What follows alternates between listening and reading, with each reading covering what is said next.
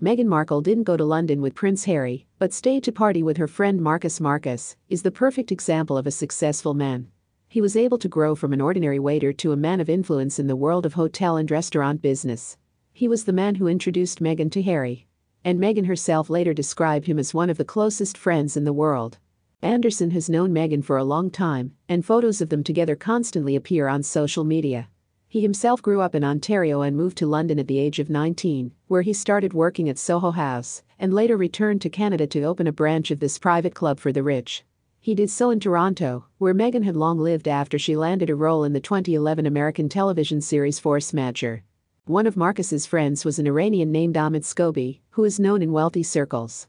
Many journalists believe that Omid and Marcus were connected not only an interest in beautiful things, but also a desire to become famous. That is why he set a friend up with Meghan. In a relationship, however, they did not last long. However, Omid and Marcus often appear together on vacation and at London parties.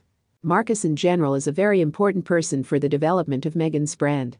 It was he who introduced Meghan to George and Amal Clooney, as well as Jessica Mulroney, the daughter in law of the former Canadian Prime Minister.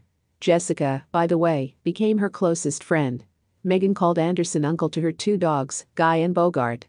At the time Meghan was still with her first husband, film producer Trevor Engelson, and while Engelson stayed in Los Angeles, Anderson took her around Toronto, introducing her to local celebrities, including the man who is now the Prime Minister of Canada, Justin Trudeau. Because of all these facts, journalists began to believe that Marcus was plotting a new project with Meghan to give her plummeting popularity a new spin. What do you think? Is Marcus really just a friend or someone bigger?